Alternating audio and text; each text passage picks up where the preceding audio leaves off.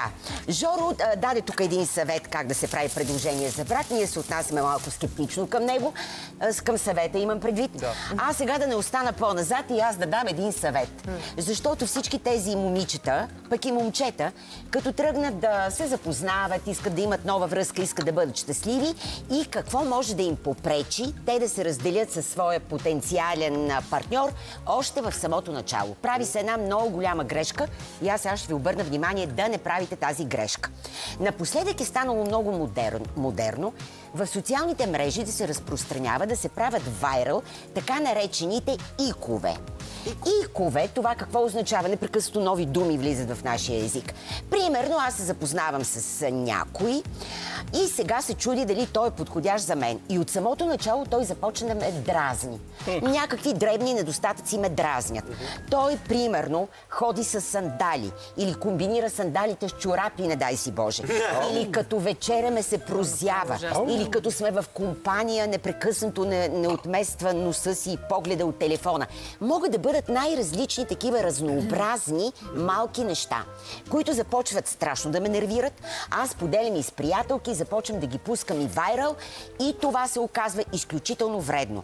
Защото учените, моите не ги знам дали са от Оксфорд или от Йел, но са изследвали 2000 човека и се установило, че заради такива икове и дребни недостатъци, които ти забелязваш в партньора веднага, 50% от хората, сега може и мъж да е, може и жена да е, се отказват да продължат връзката. Психолозите казват, че това е изключително грешно, защото вярно, че нещо ще ви дразни винаги да ви кажа. И в самото начало и по-нататък все ще ви дразни.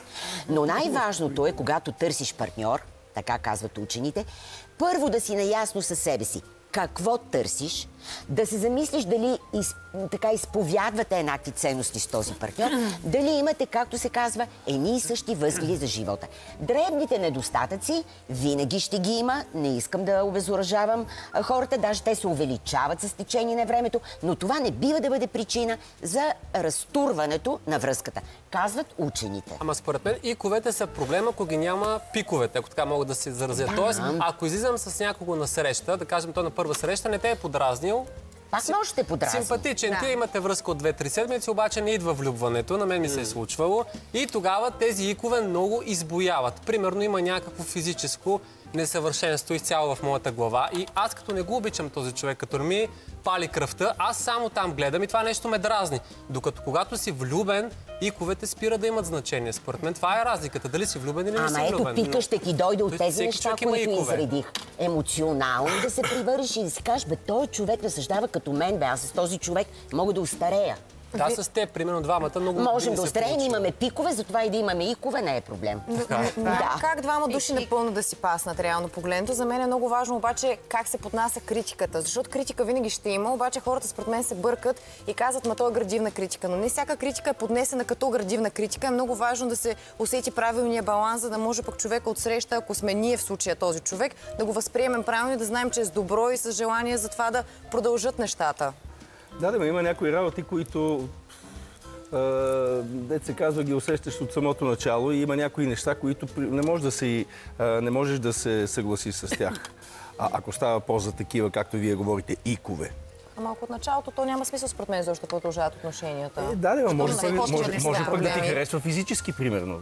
И да викаш, Тогава той не ик ще го за забравя. връзка, Да. Такава да. дългосрочна Е, защо говориш. не? Еми, Защо не? защото ако само физически ти е интересно, може Не, не, да е смисъл, че връзка, като, като сложат на кантара тия неща, да кажеш, абе, примерно, глупавичка, ама пък добре изглежда, примерно. Или пък глупавичък е, ама пък Ема не. има добър автомобил, А на примерно. кантара задължително пиковете трябва да са повече от недостатъците и иковете много се носи кихно. А, наистина трябва да са е, Вместо съгласна кикове. съм. Да. И кико, икове вместо кикове. По-добре. Ма киковете вече са Там на вече финалната права. не, там- Киковете, Бача, вече не са, да, киковете са с един такъв голям плакат